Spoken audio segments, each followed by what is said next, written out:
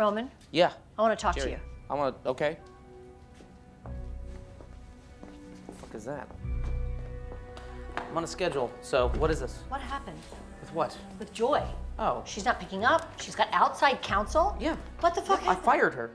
So? Roman, you absolutely cannot fire a studio executive without speaking to legal and HR and and uh, having someone else present in case. Right, right. Except I can because I did. What precisely did you say? Because now we are open to litigation mm-hmm. and ridicule, mm-hmm. and now we have to think of how to frame an apology fucking or roll Christ, back. I didn't fire her, okay? I said that she was fired to her. That's all.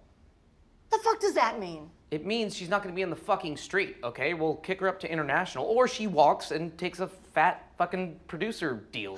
You can work on the sweep up, okay? Chop chop. Joy has a lot of relationships. She has a lot So do of I. friends, and you are a weak monarch in a dangerous No. interregnum. No. And I think you need to reconsider. This is something that dad would have done, and Oh you know well, it. maybe, but you're not your dad. Okay.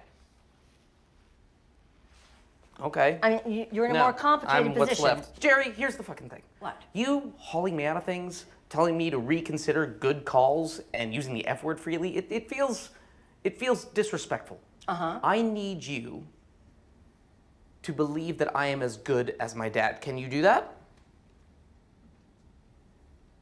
Can you do that?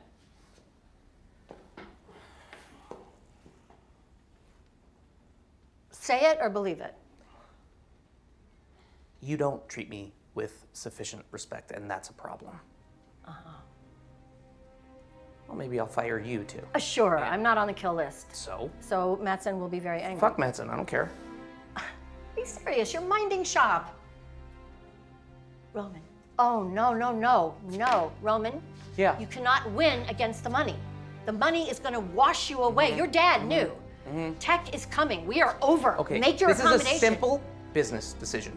You are not good at your job. Maybe Dad did know. Maybe I'm firing you for a list of failures I choose not to outline right now, but including a failure to close off our liabilities vis-a-vis claims against Waystar Cruises in a timely manner. That'll play nicely. Let's do that. I am good at my job. Shall we get started on the paperwork? You want to do it yourself, or do you want me to get somebody a bit sharper? Bye. Fucking asshole.